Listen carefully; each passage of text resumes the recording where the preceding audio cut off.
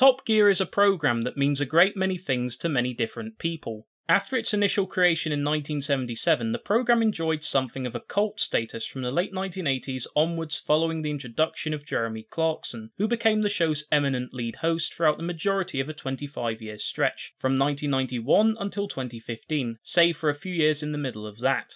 Originally the BBC's second attempt at a televised car magazine following Wheelbase, which had aired in the 60s and 70s, the show would evolve to become edgier and more controversial following Clarkson's appointment, and following a string of disappointing ratings and hosts who couldn't retain the audience to save their life, the show was eventually dropped and remodelled into a vehicle with which the likes of Clarkson, his producer and lifelong friend Andy Wilman, and a handful of other key individuals would conquer the world with.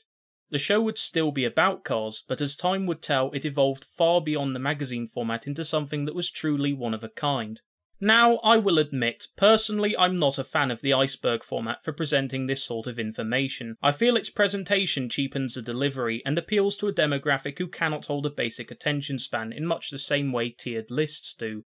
That said, given their popularity and the fact this channel really needs more pertinent yet original Top Gear related content to help build it up, only a fool would turn this opportunity down. As of mid 2022, no one has yet made a Top Gear iceberg, and I feel it's more than deserving of one, so that's what I did. There are six layers to the iceberg in total, in an image that I compiled myself in Photoshop. You might disagree with the placement for some of these, and there's of course going to be stuff I might have missed or neglected to mention, but I felt I should make one since these have endured a lasting popularity, and to give me the opportunity to try something different for a change. So without further ado, let's take a dive under the surface for the Top Gear iceberg. The first things I'm going to explain are things that don't really require any explanation. Even people who aren't fans of the show know a lot of this stuff already.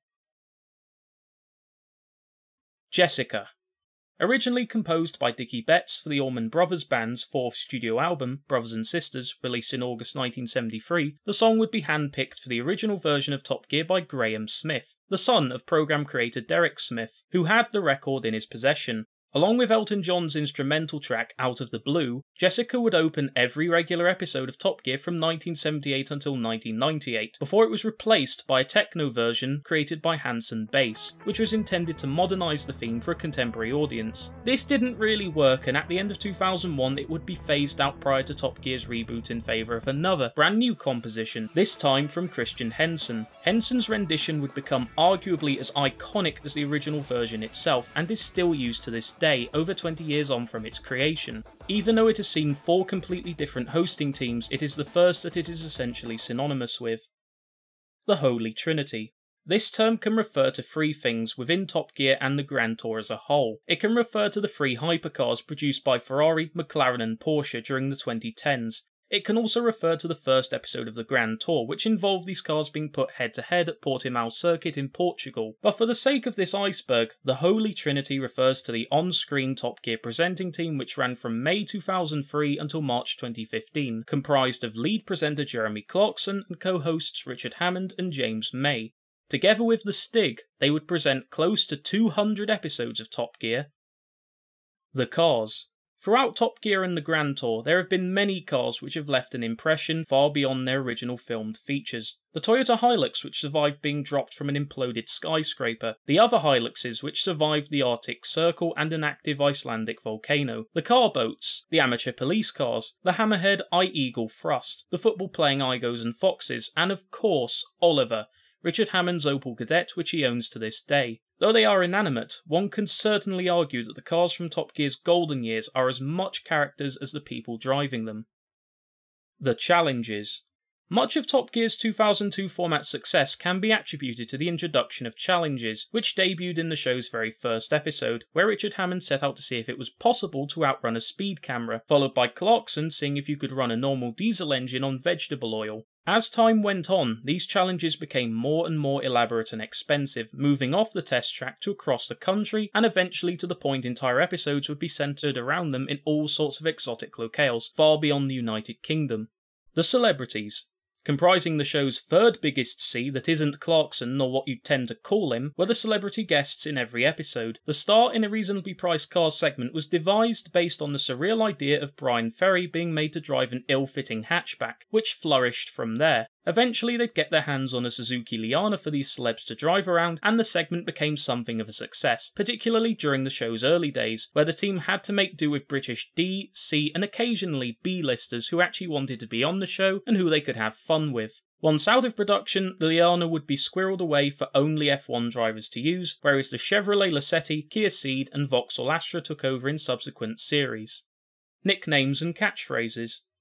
Even without a grasp on the source material, many people are familiar with the trio's nicknames of the orangutan, hamster, and Captain Slow, along with their many, many catchphrases, which have become a staple in not only contemporary British culture, but all around the world. A good show has at least a handful of phrases which define it, and a great show has many. But a brilliant show has catchphrases which are so catchy that people can't stop saying them, and these end up becoming so mimetic they persist and linger on the internet and in common vernacular years after they were last said, by people who don't even know where they originally came from. Specials. One of the biggest attractions in regards to Top Gear is its special episodes.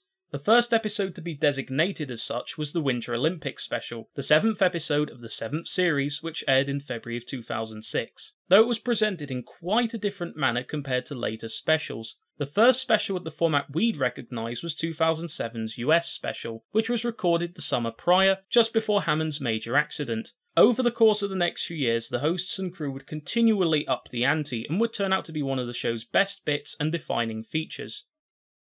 Controversies. Since the 1990s, Jeremy Clarkson has been a controversy magnet. Ever since he lambasted certain cars, angering their manufacturers to no end, he has been consistently in someone's crosshairs, once Top Gear returned in 2002, this tendency spread to his two co-presenters, Richard Hammond and James May, who each said and partook in their own fair share of contestable acts. It speaks volumes when Wikipedia have had to dedicate an entire, fully fleshed out page towards the fallout of various controversies the show embroiled itself in over the years, and it would be an off-handed, second-nature mention of a slope by Clarkson during 2014's Burma special that eventually ended up sealing his fate. Ah, here we go. In the wake of Clarkson's 2015 firing, the BBC needed to find a new lead host.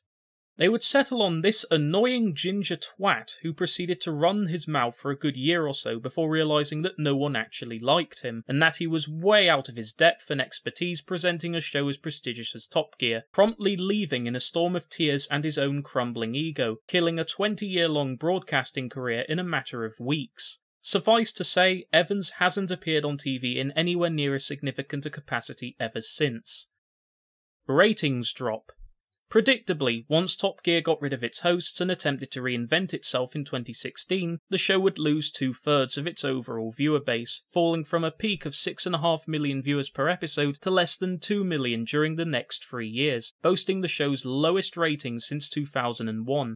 In a theory which I'll cover in much more depth during the revised Top Gear documentary this October, the BBC would replace two of its hosts with known ratings draws and move the show to BBC One in what is likely to be the televisual equivalent of a comb over, but even this has eventually failed, and it seems Flintoff and McGuinness are next on the BBC's chopping block. The corporation, unwilling or seemingly unable to recognise the fact that what Top Gear had just cannot be replicated in a forced environment.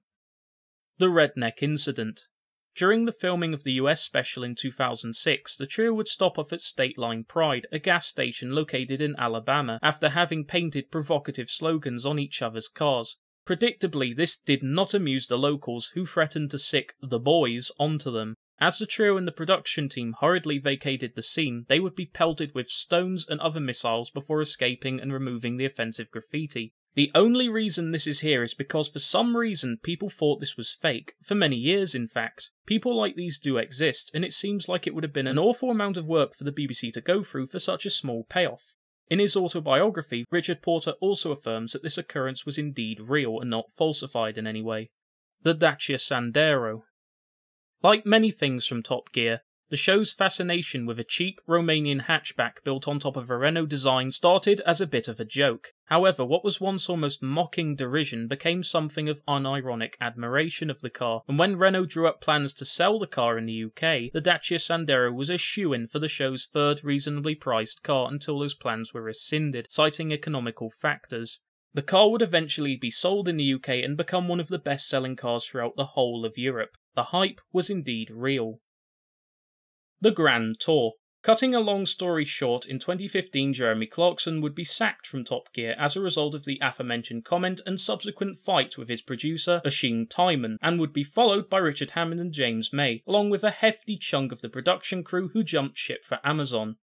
The Grand Tour would premiere in late 2016 to massive fanfare and a notoriety for being the most pirated TV show in the world. The show itself had its ups and downs, and it must be said the single season per year format also didn't work in its favour, as producing two a year meant the fans had a greater say on how the next series would look, and the show could change accordingly. By reducing this to one season per year, it meant we were foisted with Celebrity Brain Crash, a joke that had thoroughly ran its course by the third episode for the entire season.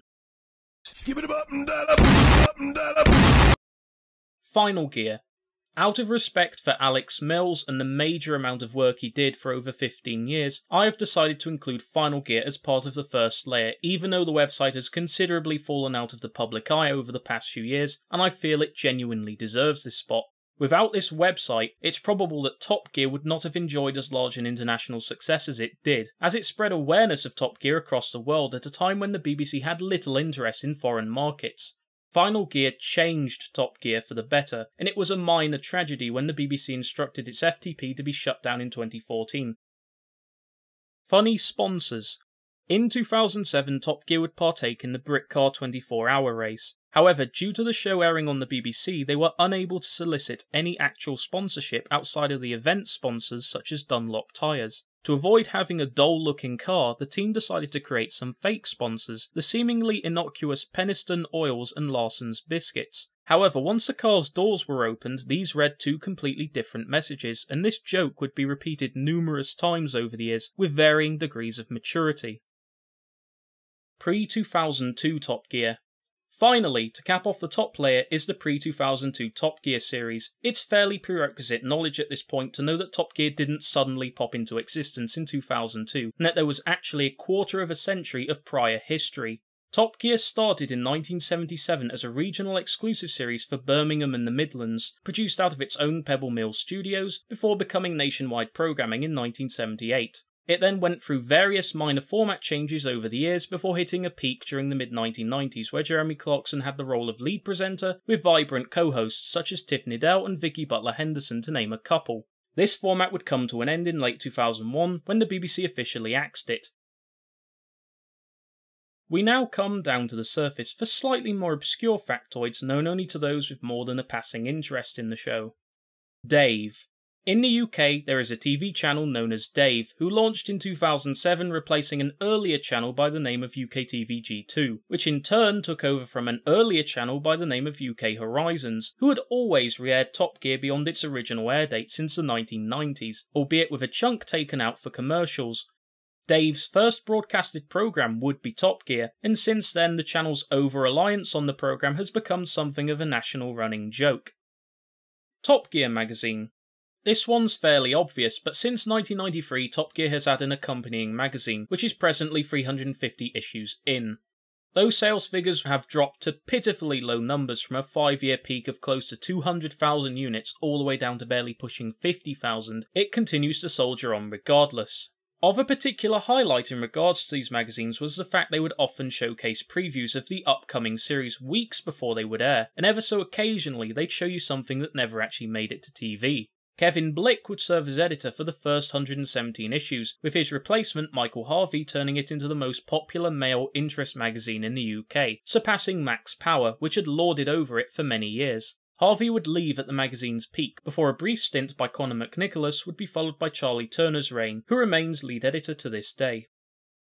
Caravans and Morris Marinas.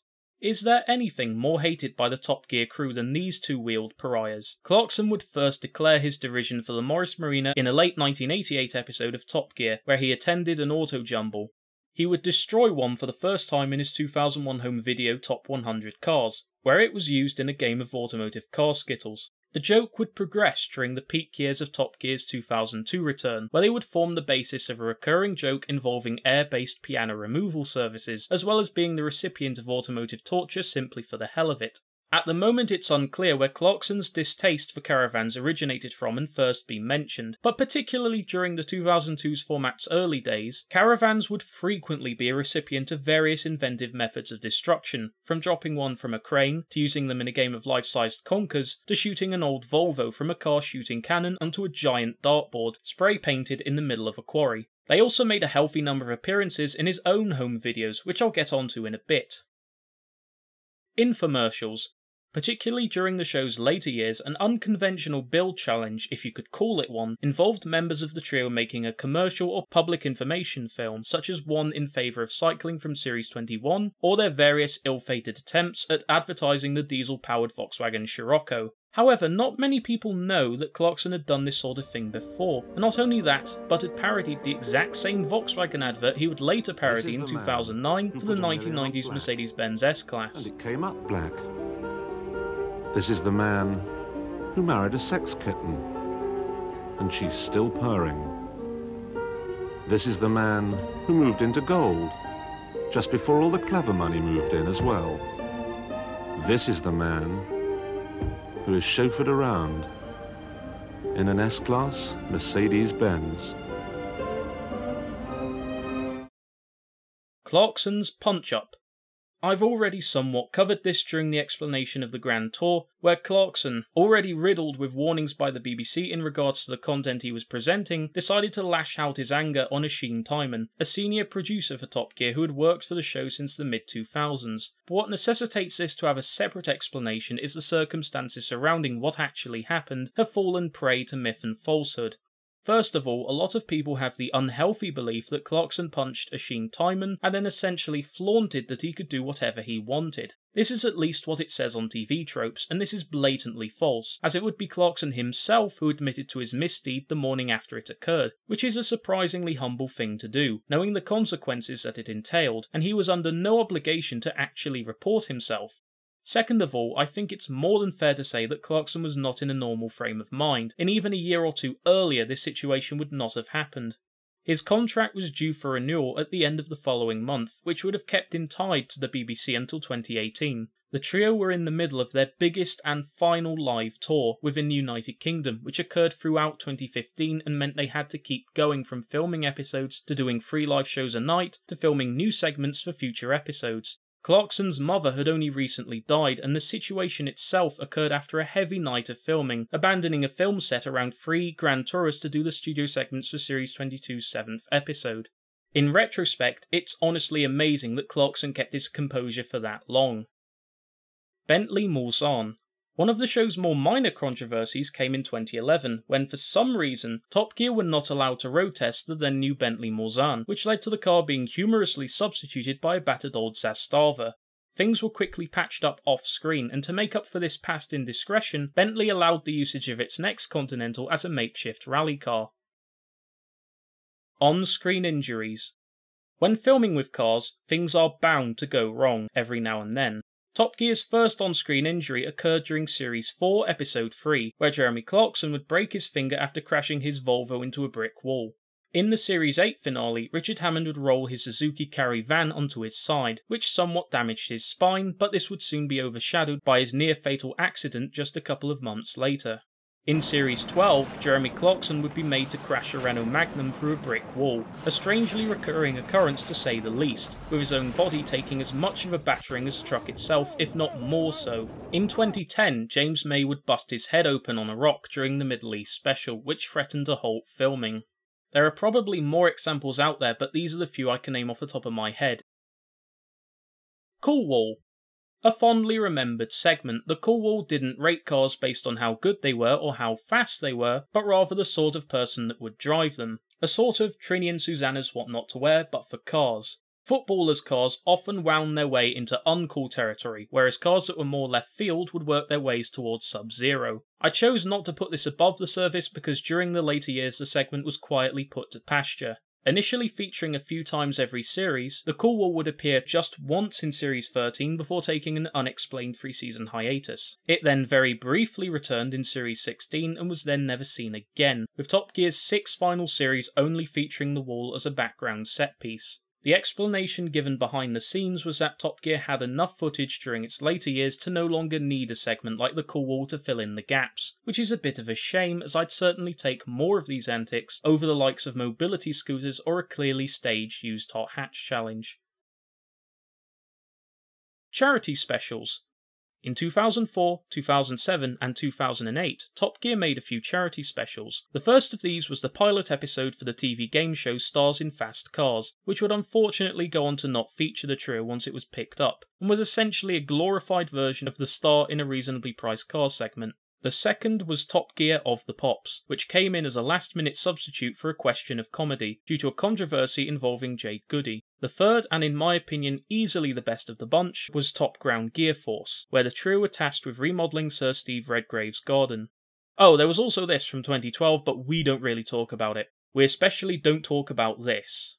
The Tesla scandal, in 2008, Top Gear decided to review the Tesla Roadster, with Clarkson having the cheek to lampoon the very real issues faced by early adopters of electric cars by daring to be a little less genuine over its battery level. Elon Musk was quite displeased and evidently unfamiliar with Top Gear's brand of satire, who often made fun of cars at the manufacturer's expense. If it wasn't for the fallout that came from this scandal, I would quite happily have put this a layer or two below. However, Musk's cult like fanbase has made sure this hasn't stayed dead and buried as it should be. I'm not quite sure why Musk pursued it as voraciously as possible. By the time the Roadster made its appearance on Top Gear, the show had long since transitioned from one centered around serious journalism into one that was much more tongue in cheek. And to be brutally honest, the fact this was ever a debacle in the first place bores me to tears. The Guardian. Throughout the previous two decades, Top Gear has had many different forms of opposition. From Chief Constable Richard Brunstrom to Public Transport 2000, helmed by ex Python Michael Palin, all the way through to a horrid Swedish gremlin. But all of these pale to a certain newspaper famed for its many typographical errors. For whatever reason, The Guardian has always had a bone to pick with Jeremy Clarkson and Top Gear as a whole, and even two decades on from the premiere of the 2002 format, this rivalry doesn't seem to be ending anytime soon. English language adaptations. With Top Gear winning a Daytime Emmy in 2005, international markets soon took notice, no sooner than the Americans, who commissioned a pilot that same year but wouldn't see the light of day for a very long time, as it was put on bricks. They'd play with the format a little while longer before launching History Channel's version of Top Gear towards the end of 2010, with Australia beating America to the punch by a couple of years. Top Gear USA would last until 2016, when BBC would unashamedly yoink the license for itself and launch its own version called Top Gear America. This didn't really work, and Motor Trend would take over production of the show. The Interceptors. Obviously inspired by shows such as The Professionals, The Interceptors was a conceptual TV series devised by the trio over the Jensen Interceptor, where all three presenters were fictionalised action cop versions of themselves, with the predictable 1970s machismo of unashamed gratuitous violence, alcoholism, and misogyny. What not many people know is that there were actually two Interceptors movies, if you could call them that. The first appeared in Series 17, and the second was filmed specifically for the trio's 2015 UK tour. This latter movie is somewhat lost media, along with many things shot for the live shows, since there are no master versions publicly available, so all we have are amateur recordings. Scene releases. If Final Gear was one half of the driving force behind Top Gear's online phenomenon, then the scene would be the other half. For those unfamiliar to the term, the scene is a collective of people who record and release episodes of TV shows that don't often get home releases, such as Top Gear. In the beginning, things were hectic, with Jabba 355, Vuk, and many others providing their own clips and episodes. Starting from 2004, UK based scene group Moo TV would take over control and begin issuing episodes in a more standard form, with various others taking over in later years. From a retrospective standpoint, the scene was actually a bit of an annoyance, as they would compress standard definition episodes originally broadcast in 576i all the way down to 352p, which extended to DVD releases and meant that the grand majority of Top Gear fans didn't watch the standard definition series at their original release quality for many years. Thankfully, we're mostly past this stage, and when the time came to doing the HD years, they would just about survive in their original forms. Finally, we turn our attention to his Stigness, who in the beginning may or may not have been portrayed by Formula One hopeful Perry McCarthy from 2002 until the following year, with the show occasionally using touring car driver Julian Bailey as a stand in. Ben Collins would take over the role after that and remain as the Stig until 2010, apart from one occasion where he was portrayed by Michael Schumacher, with Collins eventually having a very public falling out and quitting in 2010. Now we can take a dive beneath the surface for Top Gear related stuff that well versed fans may or may not already be familiar with. The Stig's current identity. Who the Stig is at any given moment has always been a very hot topic, with McCarthy and Collins each having served the role, and Ask.com naming it as one of the 10 most asked questions throughout 2008. At the moment, based on a faux pas committed by the presenting team, as well as other corresponding evidence, such as being involved in predecessor Ben Collins' stunt driver mockumentary, it seems that British GT racing driver Phil Keen has played the role of the Stig since Series 16 in 2011. Of course, without Keen or another person actually stepping forward and revealing his identity, it is impossible to directly confirm that Keen has indeed played the third incarnation of the Stig without sounding slanderous, but I'd say it's the most likely scenario, based on the evidence that we have. Multiple Stigs. Continuing on with the Stig for a moment, it's actually not much of a secret as you'd think, but the Stig hasn't always been one person. In late 2004, Simon Hucknall would temporarily play the role of the Stig in order to drive a Noble M400, which would be seen in the 2005 home video release Revved Up. Finnish Formula 1 driver Heikki Kovalainen would also portray the Stig in order to do a lap of the Renault R24 F1 car. During the Winter Olympics special in 2006, the show's concluding stunt was performed by Swedish athlete Dan Lang.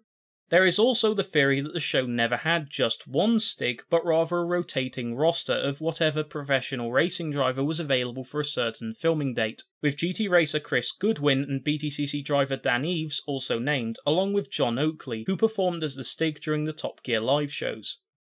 Other adaptations Outside of the United States and Australia, there have been many other versions of Top Gear since the success of the 2002 version. The first market to do so would be Russia in 2009. Since then, Top Gear Mania went into overdrive, but one must understand that the majority of these adaptations range from unwatchable pastiches of the 2002 format loosely adapted for a local market to just about acceptable, depending on the version and country of origin. For the most part, I honestly wouldn't bother with these other than to gorp at, but if I had to name one non English adaptation that has had a smidgen of success, I'd nominate the French version. With racing driver Luc Alphand and Bruce at the wheel, the series is at least conscious of what it should be, and this is proven by the fact it's the only international version of Top Gear to be renewed for more than a handful of series. The same cannot be said for Sky Italia's utter abortion of an Italian adaptation.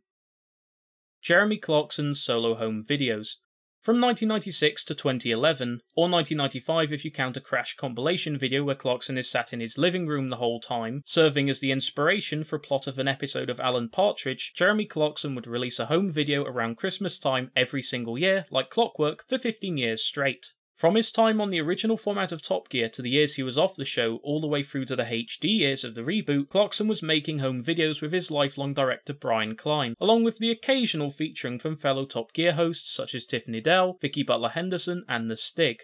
The rest of the series varies from middling in quality to pretty great in their own right, but after 2009's Duel, which is the closest thing to a Top Gear versus 5th Gear crossover we'll ever get, Clarkson had clearly ran out of ideas and the final two were fairly lackluster, but still passable entertainment nonetheless. Clarkson's original Holy Trinity wager, Throughout Series 21 and 22, Jeremy Clarkson had put so much faith into the McLaren P1 being the ultimate hypercar that he would decide to put his name on the line, literally. Should the McLaren lose, he would rename himself to Jennifer by deed poll, making it his new legal name. However, with all that ensued and Top Gear becoming the Grand Tour, the wager was changed to having May and Hammond blow up Clarkson's 200 year old house, which was something that was going to happen anyway, much to the displeasure of the Chipping Norton authorities, but losing this wager meant they got to pull the trigger and partake in some of the action. Jason Dawe. If you've only ever watched the specials and repeated reruns on Dave, you're probably only directly familiar with three people Jeremy Clarkson, Richard Hammond, and James May. But for a very brief stint in 2002, May was absent, his spot on the roster occupied by Cornish car dealer Jason Dawe, who I've just made a video on. Ultimately, things didn't work out, and Dawe was shown the door after the show broke up at the end of the year. The South American Connection In 2014, the trio would go to Argentina to film their Patagonia special, news which was soon leaked and spread to various interested parties, who were still very angered over Richard Hammond's earlier comments made over Mexicans, not to mention the obvious optics of famous British people with outspoken quasi nationalist views in a country of which they'd owned some land. Hijinks would invariably ensue, largely due to an unfortunate but real number plate carried by Jeremy's Porsche, forcing the trio to abandon their cars and the special as a whole, as enraged jingoists pelted their cars with eggs and stones. Throughout Series 22, the three presenters would then proceed to wear lapel pins which displayed the Chilean flag in order to tease Argentinian viewers. Celebrity Brain Crash during Series 1 of the Grand Tour, a particularly time wasting segment was Celebrity Brain Crash, where celebrities were supposedly invited onto the show but would end up in circumstances that resulted in their tragic end before they could reach the studio in order to play the game. The name of this game may indicate that even if the celebrities successfully made it to the machine, it would cause their head to literally explode and kill them off anyway. We never found out what the machine was capable of, and for that reason, it's all the way down the pecking order. The Grand Tour game.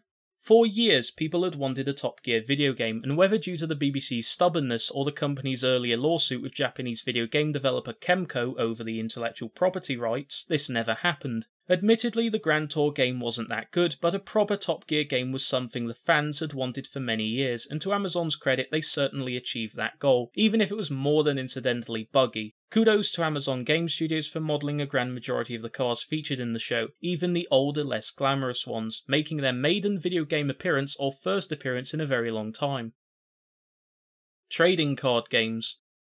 Along with a handful of obligatory Top Trumps releases, Top Gear also had its own trading card game produced as part of Topps Turbo Attack series, which came out in 2014. This game would last for two series, one before the events of March 2015 and one produced afterwards, and unsurprisingly, the game was quietly discontinued sometime thereafter, since let's be honest, no one wanted a card with Chris Evans' face on it. However, sometime before that, in 2010, the BBC tried their own hand at a card game, which it would name Top Gear Turbo Challenge. Though it was controversial from launch, largely due to out of touch adults who were unfamiliar with how trading card games worked, it quickly became the UK's best selling trading card game, but after just two years was brought to a close when the BBC decided it had run its course and didn't want to renew it. Which is a bit of a shame since although the gameplay was quite clunky, the cards were very aesthetically pleasing, particularly the rarer ones, and you can tell there was at least a degree of enthusiasm put into the series as opposed to the later turbo attacks which felt more manufactured.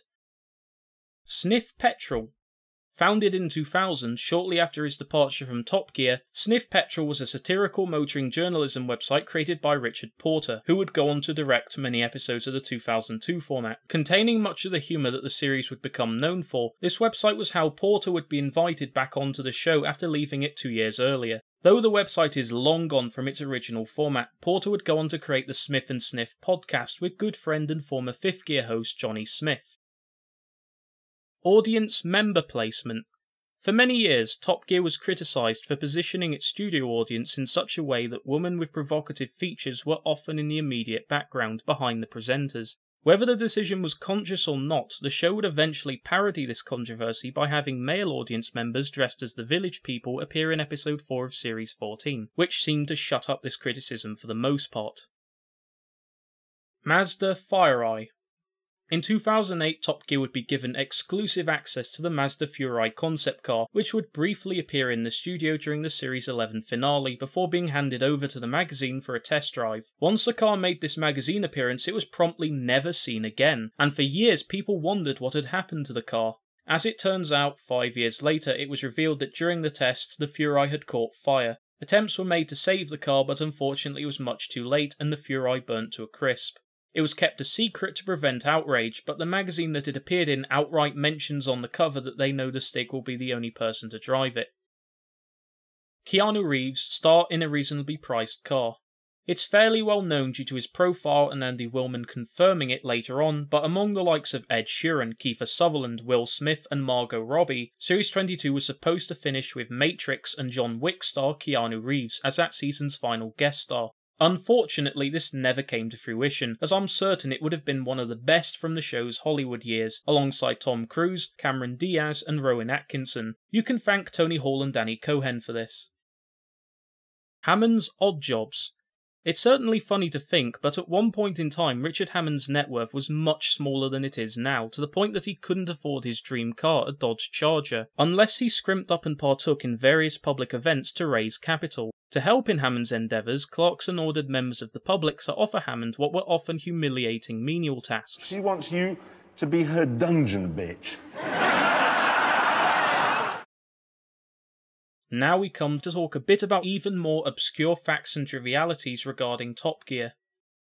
Before its revitalization in the 2010s, the older Top Gear website is where many hours of my childhood went to die explosive, digitally rendered deaths. From the many Flash games that were available to the ongoing Carbage competition where viewers were tasked with sending in pictures of the worst modified cars they'd ever seen, all the way through to the more interesting elements that have unfortunately been lost, like Andy Wilman's behind the scenes notes for every upcoming episode of Top Gear.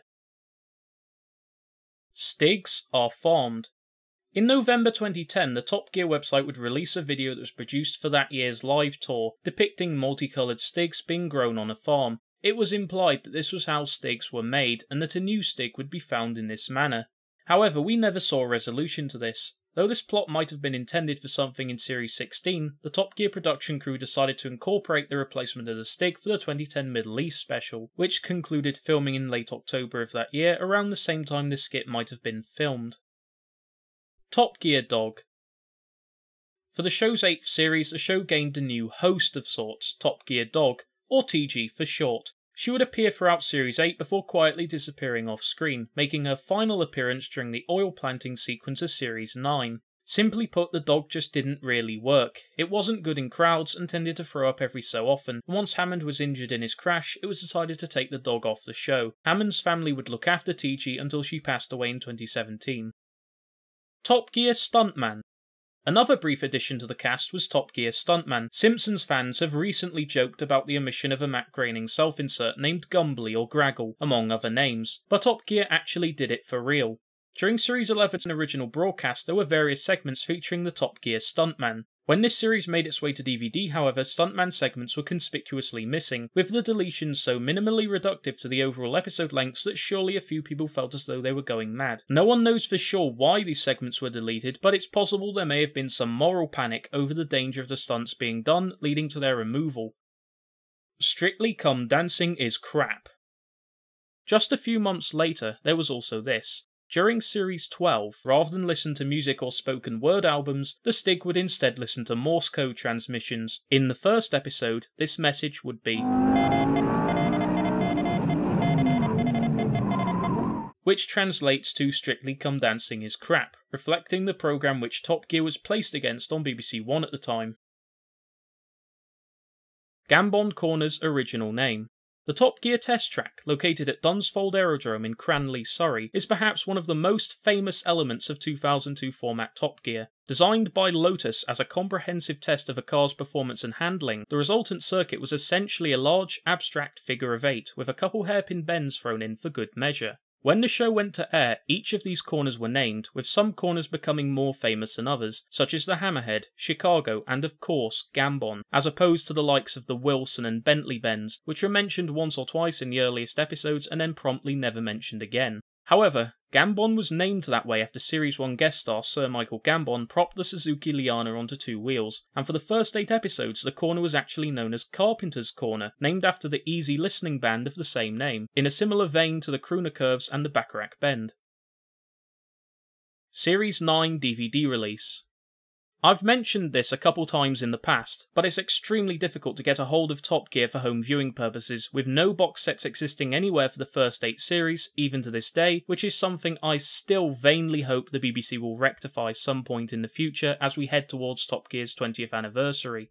In the UK, coverage was spotty, even towards the end, with certain series such as 18, 21, and 22 only releasing in mainland Europe, and Series 12 not seeing a power release anywhere.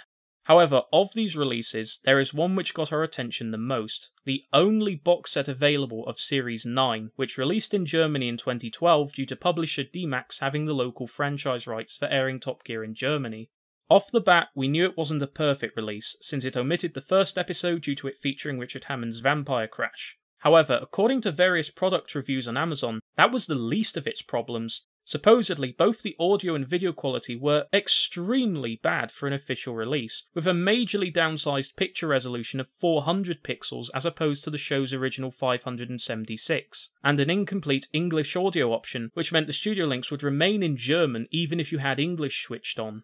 The truth is, it isn't actually as awful as we were made to believe. The episodes were not 400i, but rather the full 576i. The episodes were dubbed in German, but not so that there was an incomplete English channel. All episodes can be watched in English from start to finish if the viewer decides to do so. There was more noticeable compression when one compares the Great Adventures US special release against the Series 9 box set, but not to the point the picture quality looked washed out or bit crushed in any way, and outside of the few minutes cut out of the episodes for arbitrary reasons, is actually one of the better home DVD releases out there, and I'm glad we found it.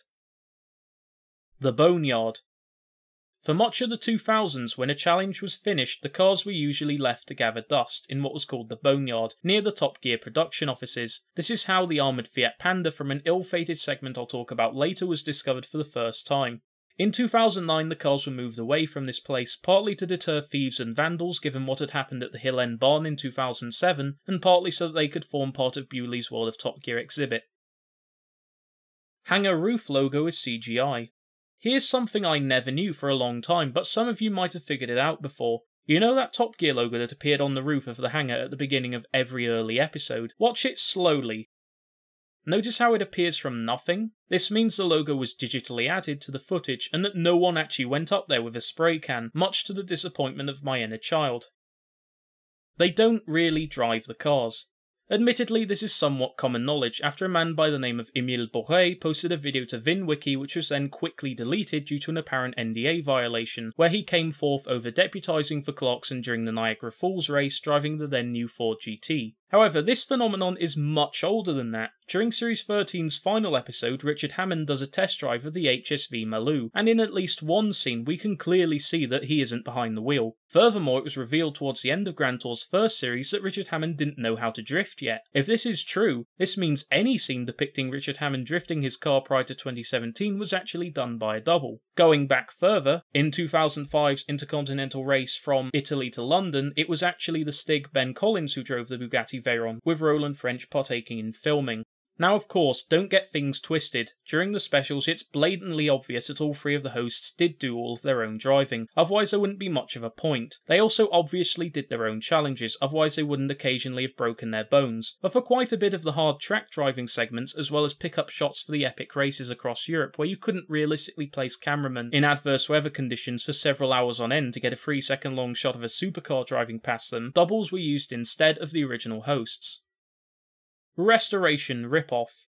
For Top Gear's fifth series, which aired throughout the closing weeks of 2004, there was a phone in competition where Top Gear offered viewers the chance to restore a car based on whichever one they voted for. In the end, it would be the unfortunately recently deceased Paddy Hopkirk's Mini being the eventual winner, allegedly winning by a large margin. And then, nothing happened. People watched every episode of Series 6, 7, and even 8 expecting an update, but nothing ever came of it. Some even thought the name of the competition, Restoration Ripoff, was a meta joke unto itself. Eventually, years later, Sean McKellar of TopGearBox.com would do his own investigation. It turned out that the Mini wasn't exactly what the production team were expecting. The chassis did indeed belong to a car that had been raced by Hopkirk at one point, but the car itself had been reshelled, which was a popular practice at the time. This meant the show had no interest in restoring a car that wasn't exactly what it said it was, and the entire competition was scrapped as a result. Jabba355 Founder of the website Jabba's World, this man would be the first to host full episodes of Top Gear on his website, but would do so in a rather pitiful quality and with an awful watermark obscuring a good portion of the screen. I won't say this man's real name, though it's a very Irish one, and I managed to contact him via eBay a couple years back, where he seemed willing to help me in my quest by stating he had access to the BBC Vault, and I took him up on his offer. Unfortunately, for whatever reason, he chose not to and left me in the cold. I won't fault him for that decision, but it's a bit of a shame that the man who started the distribution of Top Gear episodes across the internet couldn't also be the same man who helped to end the search for the elusive original broadcasts of Series 1 to 3. Top Gear Extra. Why did certain episodes from the first handful of series occasionally use a title card that read Top Gear Extra as opposed to just plain old Top Gear? In the UK, Top Gear would air on BBC, which has always been a network funded directly by the British government and airs without commercials. When the time came to air these shows abroad, even on channels sanctioned or owned by the BBC, it had to be aired with commercials, and in order to fit these programmes into the 60 minute time slot, they also needed to be cut. What Top Gear Extra was, was a lot simpler than you might think. The episode, albeit still somewhat cut and edited for syndication purposes, was presented in an extended form for a time slot longer than 60 minutes. However, for Series 2 Episode 8, owing to the removal of the Masters of the Universe challenge due to copyright related difficulties, it was found out that around two minutes of original footage had been reinserted into the Patrick Stewart interview, which had never been seen before. Greatest Car Competition during Series 2's original broadcast, there was an ongoing phone in competition to find the country's greatest car of all time. With the aforementioned Jabba and a handful of others posting clips and full episodes, this segment was initially widely available across a variety of filmed broadcasts, but started to disappear once the BBC cut the episodes down for countries who aired the episodes with commercials. And despite the best efforts of myself and many others, we were only able to recover some of these segments, typically in very poor quality. That changed in late 2021 when the BBC's iPlayer service uploaded uploaded many original versions of Top Gear episodes to the platform, but even now, we are still missing two full episodes. Episode 7, which may not ever be fully released due to the episode featuring Stuart Hall as guest, though Series 1 features a fully uncensored Jimmy Savile appearance, so go figure, and Episode 8, which is only available as a Jabba release and hasn't appeared on iPlayer due to copyright infringement from the Masters of the Universe segment.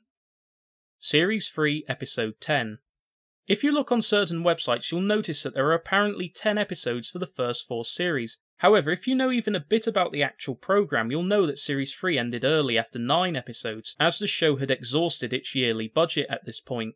And yet, many sources, including the official Top Gear website itself, states that Series 3 has 10 episodes. So what gives? Well, it turns out the truth is a bit stranger than you may think. When Top Gear was initially offered to overseas broadcasters in its unabridged hour long format as opposed to the shorter 15 to 30 minute long episodes that had been broadcast on BBC World for a few years at that point, each of the seven series available were distributed in a manner which allowed Top Gear to be shown in 10 week blocks for ease of scheduling. The only problem with this is that there were only 66 episodes available at this point, so the BBC needed to plug the gaps in order to come out with a nice round 70. To do this, the BBC added three episodes to Series 7, which were best of compilations of the prior two series, and the 10th episode to Series 3, which was also a best of compilation. Somehow, likely through a non British based source, this latter episode has taken on the moniker of Series 3 Episode 10, even though it technically doesn't exist and is actually available on many streaming services, including iPlayer.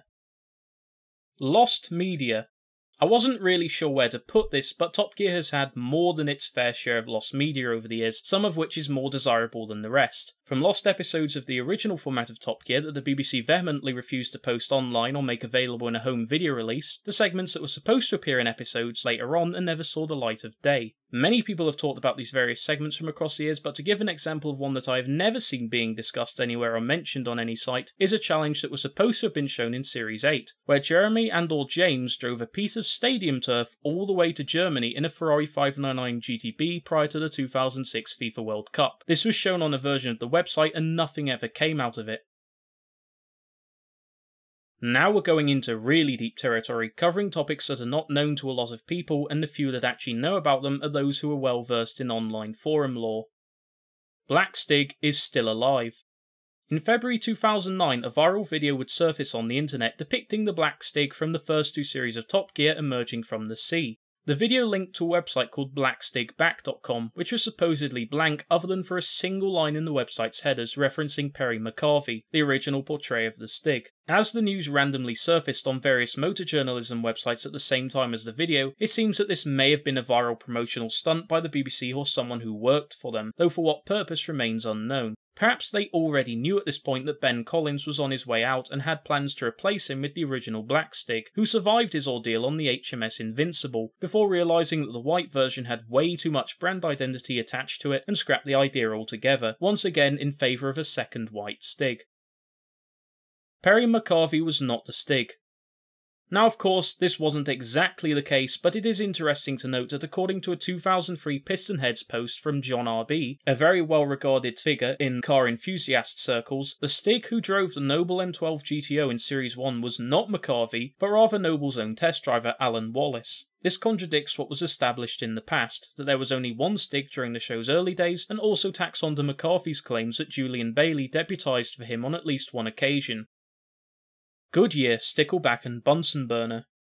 Usually, when the Top Gear cast come up with a running joke, it sticks, and yet this one, which has been said as early as the 1990s, has never really caught on. As Clarkson explains in one of his books, this name was coined by Clarkson as a parody of the names of most advertising firms, which incorporate various names, often sandwiched by an and. In this case, the name was derived from Goodyear tyres, a stickleback fish, and a Bunsen burner.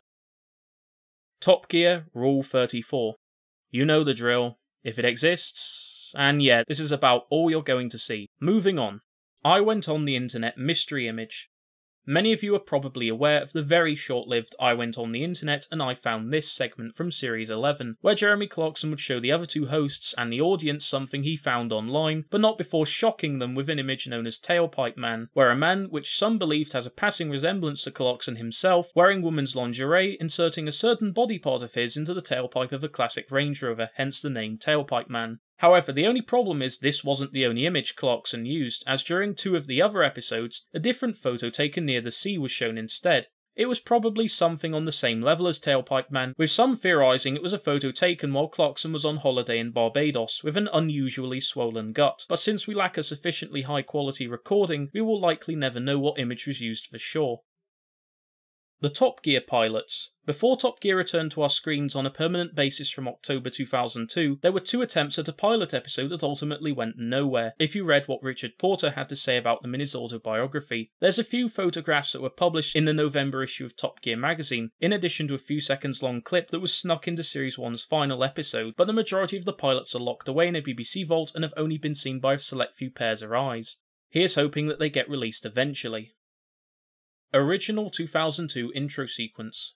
I plan to cover this in my eventual Lost Media video, which has become sort of a running joke at this point, but I have found evidence which confirms this introduction sequence right here, yes, this one, was not the first originally made for 2002 format Top Gear. And no, I'm not talking about the extended version that appears in the show's first episode. When I was finally able to find some of the fabled Jabba releases as Series 1, which had been lost for many years at this point, two of the recordings, from episodes 3 and 4, were instead secondary recordings made on digital channel UK Horizons. And as I've already posted on this channel, the introduction sequence was, how shall we put it, a bit strange and needs to be seen for itself.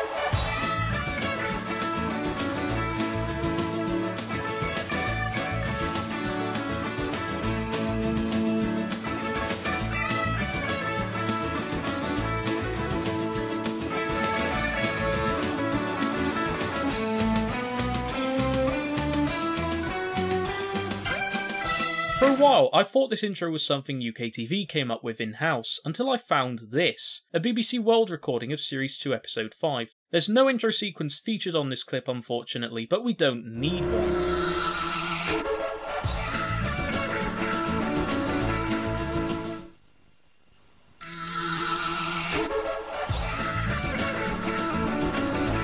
Notice the music? It's the exact same piece that appeared on the UKTV broadcasts, which crucially means this introduction sequence did not originate from UKTV, but rather internally from the BBC. It means this was made before the actual 2002 introduction sequence was finalised. For me, the biggest clue was the clip of the rear shot of the Lamborghini Murcielago, which leads to the shot of the hangar before the cog, which is never seen in the official intro. Rejected 2006 intro sequence. While we're on the subject of alternative intro sequences, in 2006 there were tentative plans for Top Gear to update not only its introduction sequence, but also its theme tune to cash in on the Oakenfold-esque trance craze that was all the rage during the early to mid 2000s. This theme tune would end up cancelled, with the only reason we knew about this theme due to appearing on Ian Morris's YouTube channel, who also has a Flickr with many high resolution production stills from that same era. However, if you bought the third volume of the Challenges DVD, released in 2000, 2008 and you navigated across any of the chapters, this is what you would hear. It's the closing beats from Morris's canned theme tune. This proves that the theme tune was considered as an actual replacement and was due to be used from Series 8. Woolarding. In the early 2010s, the act of woolarding, or putting your foot on a car's front bumper while the bonnet is open and turning to face the camera, became something of a meme. This was unusual in the sense it came from the original run of Top Gear and is named after host William Woollard, the originator of this trend. Jeremy Clarkson Death Hoax. During the summer of 2006, mere weeks before Richard Hammond's very real near fatal accident in the Vampire jet car, it was reported that Jeremy Clarkson had passed away at a cattle ranch in Portugal and that the BBC were covering this up for a few days so that it wouldn't interfere with the broadcast of the show. In the early days of the modern internet, this rumour sprouted legs once someone posted a clip that was implied to be, and indeed looked like, an actual eulogy for Jeremy Clarkson. However, it turns out that this was simply a skit from Chris Morris released in the 1990s, hence the older footage, and had nothing to do with this rumour. It was just extremely unfortunate timing that this had happened just as YouTube was beginning to gain significant ground, and in the days before Twitter, it was much harder to determine if online rumours were actually true. Heat's Weird Crush after two of the three hosts won Heat Magazine's Weird Crush of the Year in 2006 and 2007 under their own merits, Final Gear decided it was just too good of an opportunity to waste by not having Jeremy Clarkson win it in 2008, and conspired to do just that. Needless to say, they succeeded, and Top Gear successfully completed its Weird Crush freepeat. Actual consumer advice. This is something that has been lampooned many times in Top Gear across the years, However, I found out that if you go way back, long before Top Gear was first broadcast in HD, long before the show's first special episode, and long before Top Gear won its first Emmy, you'll find this film from Series 1, Episode 6, centering on a group of hatchbacks. For 10 minutes, Richard Hammond simply reviews cars with no gimmicks attached. There's no explosions, no power sliding, no crashes, no humorous comparisons to cars worth 10 times its price figure, just a selection of hatchbacks, an overview of their features, and a recommendation over which ones a consumer should pay attention to. Jennings and the Planned Operation in 1973, BBC Radio 4 released an adaptation of author Anthony Buckeridge's work titled Jennings and the Planned Operation. Voicing a student by the name of Atkinson would be none other than an 11 year old Jeremy Clarkson. What this means is that somewhere, deep within the BBC's archives, lies the voice of a prepubescent Jezza. As these things usually go, the bottommost level of any iceberg is filled with largely nonsensical stuff. This is no exception. After compiling the script for the earlier parts of the video as well as making the custom iceberg image myself, I felt this was a fun way to blow off steam and cap off the video. There is nothing factual beyond this point. 4K episodes. In the mid 2010s, the BBC would experiment with 4K streaming through its iPlayer service, with Planet Earth 2 the first series to offer this. Around this time, Top Gear episodes had their own watch threads on Reddit, and these contained links to obtain the episode. Somehow, either through poor wording due to the Reddit threads insisting on referring to these episodes as Ultra HD, or simple misremembrance from years later, this transmogrified into a persistent rumour that Series 21 was filmed using 4K cameras before being downscaled to 1080i. Immediately, the skeptic in me was curious, but had its doubts. Top Gear had only transitioned to HD broadcasting in 2009, and even then, the show would often use standard definition cameras for cockpit and other limited perspective shots as late as Series 17, and possibly later still. Why would the BBC invest so much money into 4K broadcasting if it couldn't even show the fruits of its labours outside of a few hundred thousand people who watched iPlayer and had a 4K compliant monitor? Well, as it turns out, this rumour was too good to be true. Ultra HD in this instance actually referred to the original 1080i releases from Final Gear, as at the time people still oddly preferred the convenience of compressed, downsampled 720p releases, which almost led to the extinction of the original episode recordings were it not for the efforts of mine and several others' careful conservations. Clarkson was replaced by a clone in 2010. This is obviously a bit of a tongue in cheek theory that I read on TV Tropes one time to explain the show's changing tone. But basically, the theory postulates that the Jeremy Clarkson we see from Series 15 onwards is a different man to the one we saw up to that point. This is because during a deleted scene from the end of the Reliant Robin road test, Clarkson parks a BMW Isetta into a garage. However, with no reverse gear and a front hinged door, it is impossible for him to get out, and unlike the Peel P50 segment from 2007, no one is around to help him. It is therefore implied that Clarkson eventually starved or ran out of oxygen, and that the Clarkson we see in the studio from there on in is an imposter more prone to stupidity. Clarkson Island is real, or rather a clone. This, of course, only really makes sense if you also accept that Clarkson Island wasn't a comedic skit from the comedy program Harry and Paul, but it was instead a serious documentary. Remember, towards the end of this skit, the farmer calls along his equivalent of a sheepdog, which, lo and behold, is a stig. This adds credence to the earlier idea that Stigs are farmed, and that every time you watch a repeat of Top Gear on Dave, you're actually seeing another clone fresh off the farm reenacting the events of episodes from many years gone by. Ashes to Ashes charity special. In 2008 for BBC's Children in Need, Richard Hammond would make an appearance alongside DI Alex Drake and DCI Gene Hunt.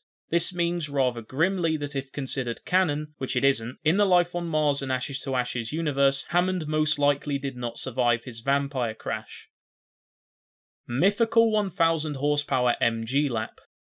In Series 3, Episode 7, the MG X Power SV was taken around the Top Gear test track for a lap, and after setting a lap time, Clarkson boasted that the car could be specified to have an engine upgrade that would take the Ford Mustang derived V8 up to 1000 horsepower through a nitrous oxide kit.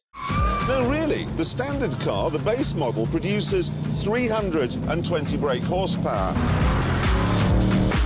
This one, with a few tweaks, offers up 400. But they will sell you a nitrous kit that takes it up to a thousand brake horsepower. A thousand! However, as Drive Tribe uncovered in their video about the SV many years later, it appears the 1000 horsepower statement was little more than a marketing gimmick, and no cars were ever, nor would be ever sold with this option, due to its unfeasibility. The joke here is that the car would actually be sent to the track with this mythical performance package and set a lap time that was so violently fast it tore open a hole in time and was never seen again. Ferrari on the moon. Eat your heart out, Elon Musk, because Top Gear did it first. In 2007, they would put a Ferrari 599 GTB on the lunar surface, although tragically the footage wouldn't make it back in one piece upon re entry, with only this sliver from the episode's intro sequence surviving. Jason Dawe moved to Miami. A few people have noted that one of the car dealers a trio met in the United States during 2007's US special looked more than incidentally like Jason Dawe, a comparison certainly helped by the fact this person was also a used car dealer. Of course, it wasn't actually him, owing to his thick accent and the fact Dawe was presenting ITV4's Used Car Roadshow at the time, but it's certainly a fun idea to think about. The first Yeet it's been reported on the internet that while pouring acid on an old Porsche 911 during his 1998 home video Most Outrageous, Jeremy Clarkson can be seen to have said yeet. Yeet. Yeet. However, this isn't the case, as he's actually saying heat. On the contrary, Clarkson did in fact proceed to yeet a steel ball through the window of the 911, in addition to the car itself being yeeted onto a caravan, so this assumption gets a pass. Jeremy Clarkson is the founder of the Yeet a full 20 years before anyone else followed his lead, he was just that ahead of the curve. Richard Catmond. Richard Hammond is a cat, the cat from Shrek 2 to be precise, and cats, as we all know, have nine lives. This explains no matter how many brushes with death Hammond seems to have, he always makes it out unscathed. JC equals Jesus Christ. Come on, did you really not see this one coming? They have the same initials, and as we saw in the Middle East special, Clarkson did demonstrate various biblical feats such as appearing to walk on water before promptly sinking. Top Gear is a lead poisoning documentary. In the past, cars weren't as clean as they are nowadays, with greater amounts of lead in the atmosphere, and this has been linked to a decline in mental health for adults who were around prior to the abolition of four star petrol in 1999. Top Gear gradually became nuttier over the years because its presenters got nuttier as a result of lead poisoning. In effect, the whole show is a documentary displaying its effects on the human mind in order to explain how Top Gear went from laid back reviews of the latest hatchbacks and 4x4s to wilder, unhinged content on the whole, which often involved fire and explosions. Richard Porter is a Time Lord. Of all the hosts and production crew who have worked on Top Gear over the years, no one's path was perhaps stranger than that of producer and scriptwriter Richard Porter. In the late 1990s, Porter had a job working at the Wilmslow branch of Next, a British chain of clothing stores, and was in no way qualified to work on a TV show. However, when Top Gear publicly solicited for a researcher to apply for the show, Porter jumped at the chance. After fumbling his way through the interview, he would be let into the world of Top Gear under the lead of Jon Bentley and would be instrumental in the show's reconstruction in 2002. Since then, Porter has essentially been present at every stage of the trio's careers and wrote an autobiography in 2015 to this effect. Porter's timing was overly convenient to the point his entire adult life would have likely went in an entirely different direction, almost as if he knew how big Top Gear would become beforehand. What's perhaps even stranger, however, is that when one looks back at the contents of the Big Book of Top Gear, which used to be produced annually, the first book, which came out in 2008, talked about aggressive car names such as the Attack Hammer and Iron Eagle. A year later, when the trio made their own electric car, it would be called the Hammerhead I Eagle Thrust. The second book, which came out in 2009, heavily implied what would happen if American movie star Tom Cruise appeared in the reasonably priced car, and yet, a year later, that also happened. Now, these predictions are weird, but let us remind ourselves who wrote these books in the first place Richard Porter. And if you go through the work he did for Sniff Petrol, his seeming omniscience doesn't stop here. Take the July 2002 issue, for instance, where he lampoons Ford's various failed projects from over the years, such as the Focus RS, which had been delayed and stuck in production hell for two years at this point. However, what Porter mentions in parody actually went on to happen, such as the 500 horsepower Ford Fiesta RS, which materialized as a concept in 2004, albeit with half the power. Also of particular note is the gull-winged Ford Mondeo concept, which came out in 2005 and was called the Ford Iosis, which served as the basic platform for the subsequent generation of Mondeo. More recently, an amphibious Ford Fiesta has also been made and is known as the Dutton Reef. To me, the only thing that can explain these startling occurrences throughout Porter's career is that he somehow has access to foreknowledge of certain events and incorporates this knowledge in his writing. Top Gear Apocalypse is the show's canonical or true ending. One of my favourite home video releases of all time, Top Gear Apocalypse, released in 2010 and marked the show's first Blu ray release in the UK. The whole thing was one of the most ambitious things ever made by the Top Gear crew and told a story over what would have happened to the show in the event a nuclear war happened, with Clarkson unfortunately not surviving the initial events. However, the date and time period in which this apocalyptic event took place was largely left ambiguous, until a segment dealt with how paparazzi would fare during said apocalypse, which resulted in a mock magazine being published with a cover date of 10th December 2019. If taken at face value, this means Apocalypse takes place well after the end of Top Gear, but also the Grand Tour, whose final episode aired in April of that year.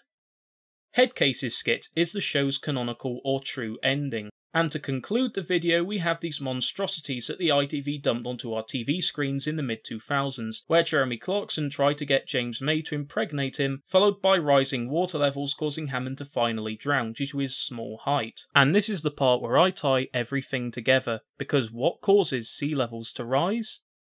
That's right, icebergs. And with that, that is the Top Gear iceberg explained. Thank you so much for watching, I hope you enjoyed this video and wish to see more in the future. Thanks once again to my patrons for making this video possible, and I hope to see you all in the next video. But before I finish, I'd like to talk a bit about this channel, my secondary channel, and my aims for the future. First of all, I'll admit it, I've been nowhere near as productive as I initially expected to be at the start of the year. I've eventually come to the realization that many bigger YouTubers who are able to regularly release content have an entire team of editors who work round the clock to make sure they can release crisp, high quality videos on a tight schedule.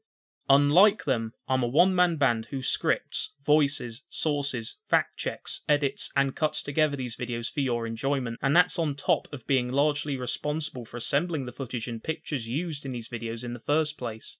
As a result, my production process is much slower than I'd ideally like it to be, and that leaves practically zero time for me to socialise and interact with you guys, as I have to go from video to video to make some form of a floating schedule. With this major video out the way, I'm going to try returning to Discord in the next few days, and maybe consider starting up a new server for these videos, but I can't promise anything. In this instance, the video was mostly done by late July, until I remembered a whole slew of other additions that I had put into the original image, which I then had to record, process in Audacity and Goldwave, and then add to the video with a visual accompaniment. This took the video from its original runtime of 40 minutes to over 70 minutes, nearly double what it originally was. On top of doing scripts and work on other videos in the meantime, it meant I couldn't finish it until now, and I hope you all understand that I'm not leaving you hanging, nor am I lazy and purposefully missing deadlines I assigned myself.